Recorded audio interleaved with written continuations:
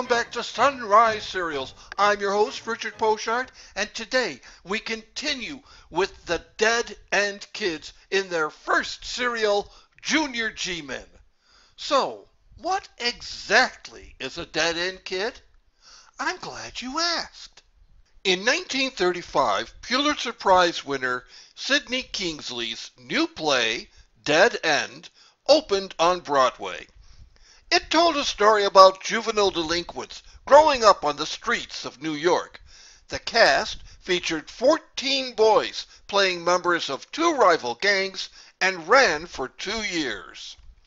Samuel Goldwyn and director William Wyler saw the play and bought the film rights to it.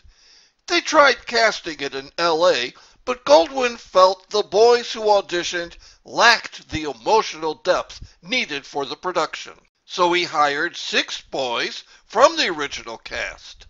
The play had just closed at this point, and gave them two-year contracts to fly to Hollywood and star in the movie. They were listed in the opening credits as the Dead End Kids. Billy Halop, Bobby Jordan, Huntz Hall, Bernard Punsly, Gabriel Dell, and Leo Gorcey. Goldwyn had hoped to use the boys in several films, but they ran riot on the studio lot, engaging in destructive hijinks, including throwing firecrackers into Humphrey Bogart's dressing room and crashing a truck into the wall of a soundstage. By the time the film was released, Goldwyn and United Artists had had enough of the boys and sold their contracts to Warner Brothers. Obviously, their story doesn't end there, but now it's time to turn our attention to another story. Chapter 3 Human Dynamite.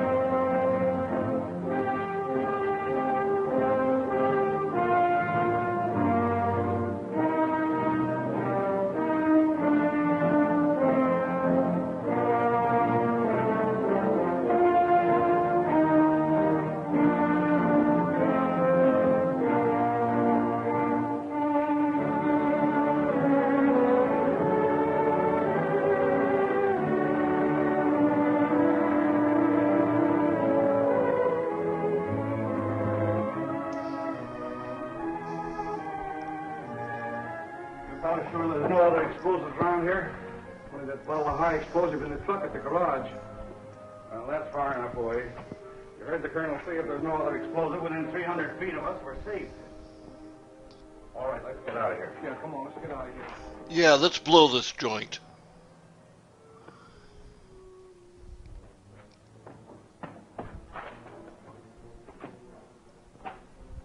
You better that stuff, will it, before it blows up? Yeah, sure. What do you want me to do with it? Drink it? Tell Corey okay. Let's get over by that scrubby just in case Martin's pulled a fast one. Nothing like trouble water will blow up.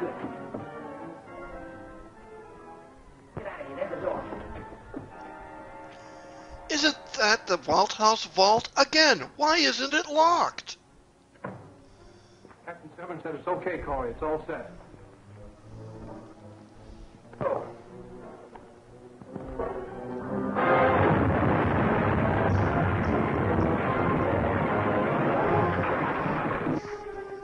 Sorry, didn't know my own strength. Martin double crossed us. He gave me his word the explosion would crack the steel block, but wouldn't wreck the building.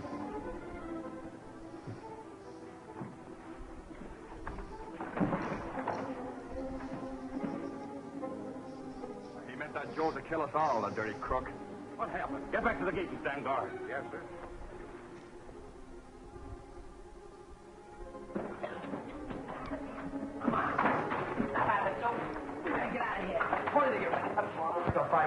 Crazy. We gotta stay under cover, get to the gate, and sneak through if we get a chance. Come on. You're quite mistaken, gentlemen. Some of your own people must have blundered. Not I or my invention. So that was your plan, Colonel Barton. You meant your harmless little demonstration to kill us all. You're mistaken, sir. I was just as anxious for the experiment to be a success as you were. But I warned you repeatedly not to have any explosive matter within 300 feet. There was no other. As I told you, there was a bottle of high explosive in the garage, considerably more than 300 feet away. Is it there now? Well, of course it's there. Where would it be? The garage is locked. see if it's there. Why, I tell you, I. If this was a trick of yours, Barton, you'll pay the extreme penalty. If it was, I would say The abracadabra. blunder of one of your own followers. On a par with your whole stupid scheme. Don't try my patience too far.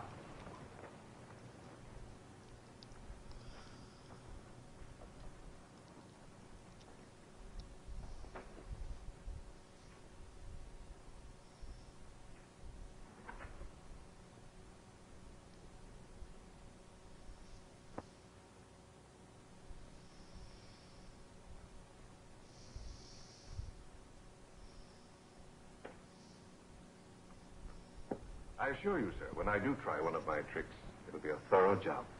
Ever been sawed in half before? I'm just Quite perfecting that repeat The one. experiment under any conditions you may consider safe. High explosive's gone. And the garage door was locked. Evidently, you have a traitor in your own outfit. Silence!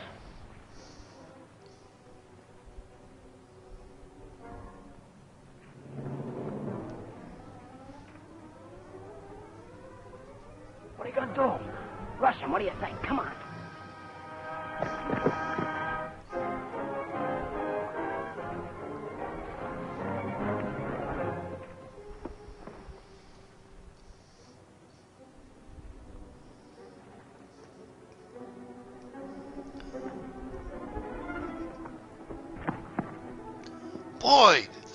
Landscapers have really let this front yard go to hell.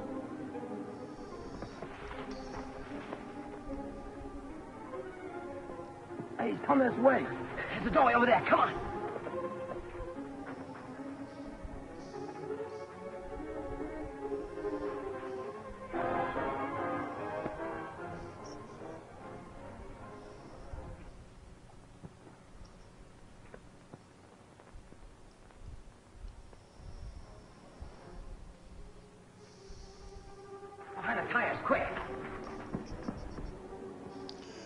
Auditions to be the Michelin Man.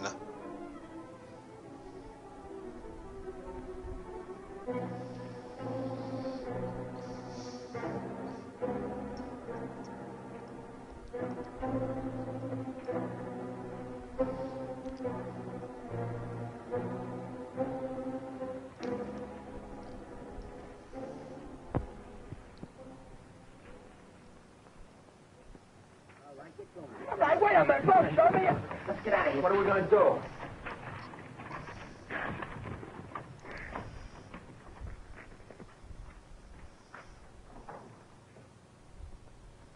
I guess we can't get out that way. That guy's gonna give the alarm. So what are we gonna do? We're gonna stay and let him nab us? You'll return Is he talking the with his truck mouth bring back the full again? Steel block that was ordered. We'll repeat the experiment tomorrow. Meanwhile, you'll stay in this room under guard until we find out who tampered with the explosive. Rest of you come to my office. Corey, you stay here.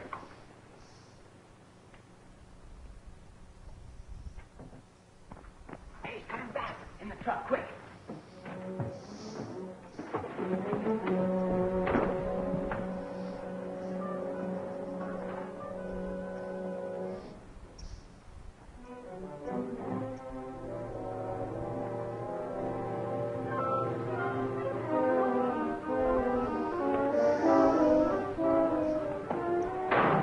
That drove the truck when we come here. Yeah, maybe he's gonna drive us back. Not if you don't tip him this time.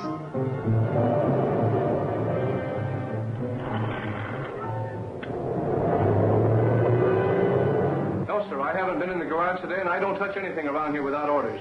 But someone in this organization is responsible. With our electrified walls, this place is invulnerable. Ransby. Wait a minute, wait a minute. Talk more slowly. I can't understand you.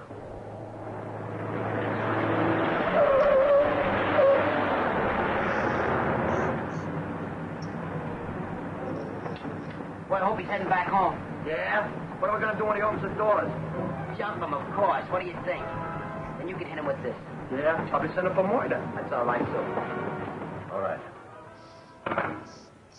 The guard says two boys are inside the walls. Two boys? Something about a they're the lost baseball. time I've seen. They can't go over the walls so go out and search those grounds. Or Severn. That explains the explosion of the vault house. Someone in league with Barton took the explosives out of the garage. Yes? What's that? Well, have it repaired at once. Have those walls watched. The explosion's damaged the protective wiring. It's out of commission. Then they may have escaped over the wall. But it can't go far. I'll have the roads patrolled.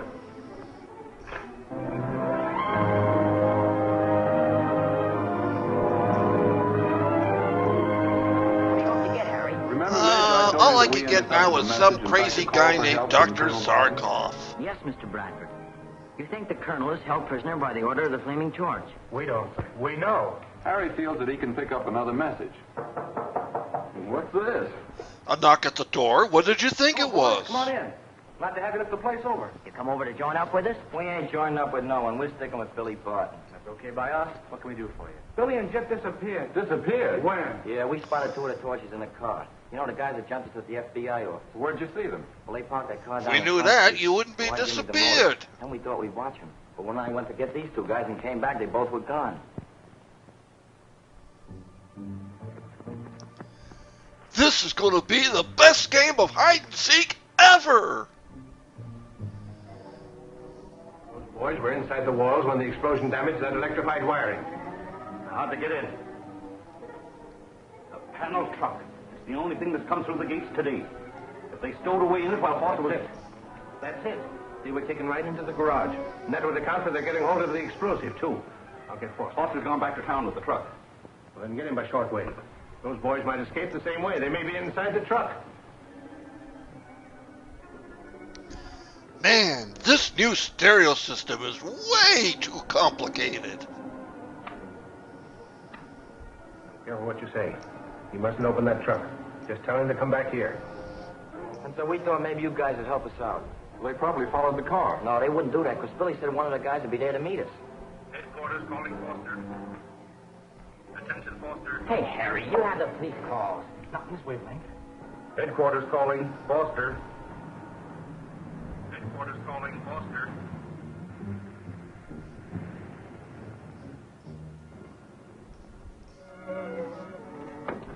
Foster reporting to headquarters. Come on in, Foster. I'm on Ballard Pike, about eight miles from the city. Hey, what's the idea of turning back? You have dangerous cargo. Come back at once. Us, dangerous cargo. How them guys know we was here? The G-Man told us the torch gang were plenty sharp.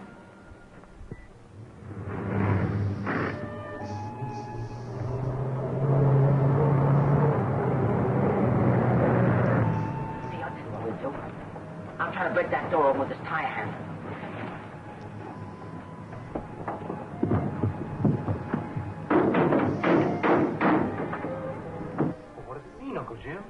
That's the torch gang. Keep on that wavelength. So we're not sure the boys in the truck.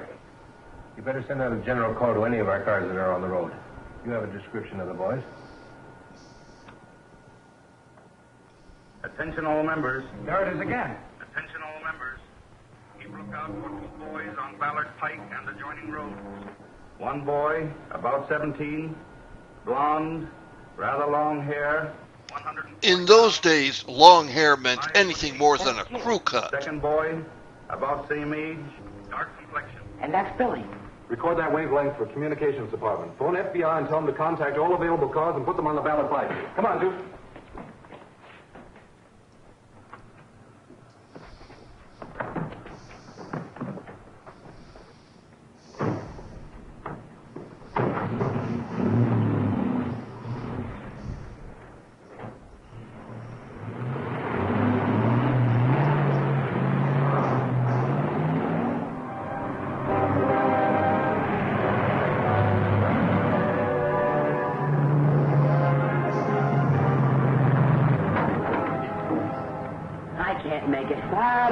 Project of it, will you? Use strategy once in a while.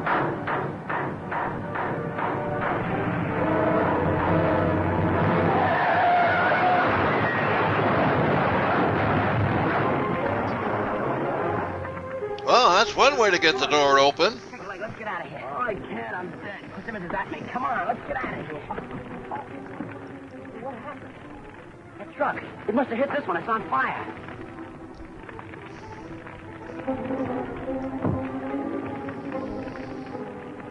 Come on.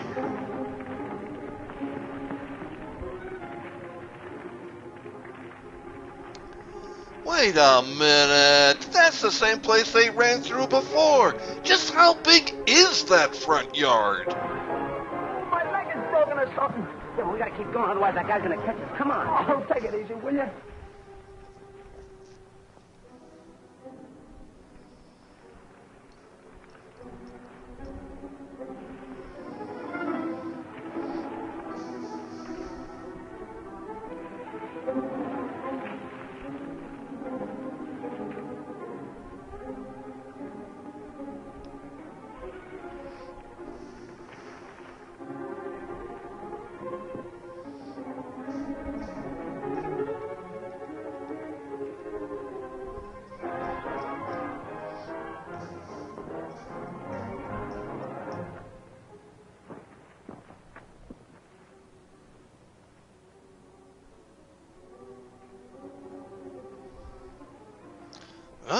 Those boys must have been my imagination.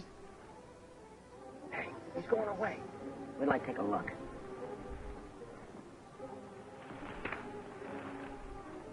We better wait here till he gets farther away. Yeah? We better get somewhere and call the cops. What for? We couldn't tell nothing if we did. Secondly, we don't even know where those crooks' hideout is. This is our fight, our mob against theirs. No cop's gonna chisel in on us. Come on, let's get out that way and thumb a ride home. Go I can't even walk. Ow, you fucked up my, my, my leg!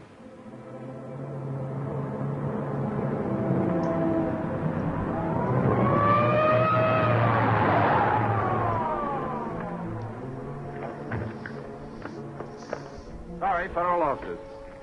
Hey, what's this all about anyway? Special We're the day watch. Mind if we check the time? Okay, thanks. Go ahead. They're not the men we're after. No, no flaming torch on their wrist.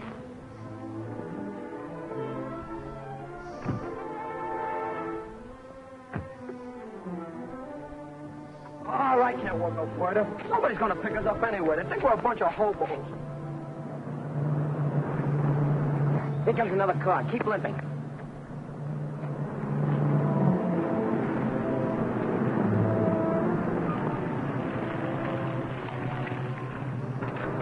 Where you heading for, boys? Oh, nowhere in particular. Give us a lift in the town, will you? You look as though you'd been in a fight. Yeah, a couple of guys. Quiet, dope. A truck we was riding got run into. Okay, hop in. Thanks.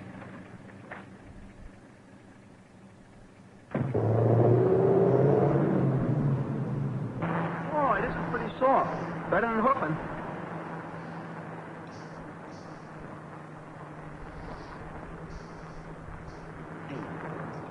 Flaming torch. Sit down. Don't move. Don't try to signal passing cars, or I'll. Give you such an Indian rope burn like you wouldn't believe.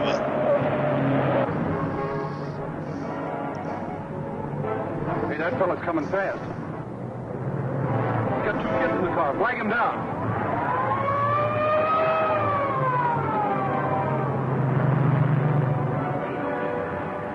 G-Man's car, Jim Bradford.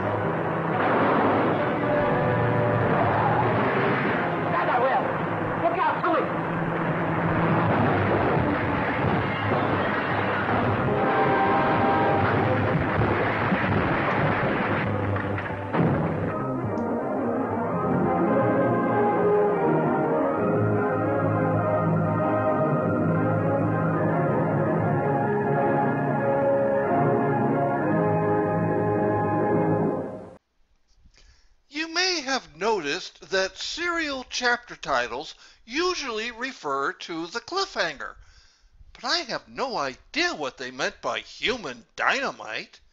Explosive personalities?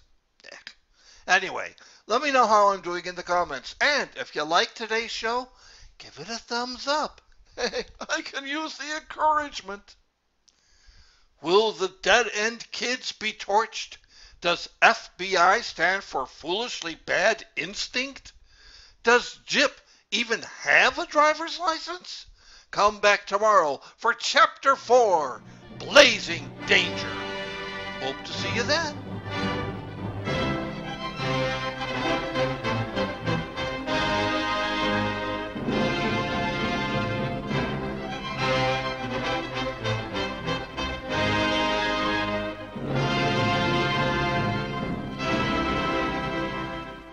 Hey everybody, it's Richard again, and if this is the first time you're viewing my series, you've already missed a lot. So why not subscribe? And that way you'll never miss another exciting cliffhanging moment. Subscribe today.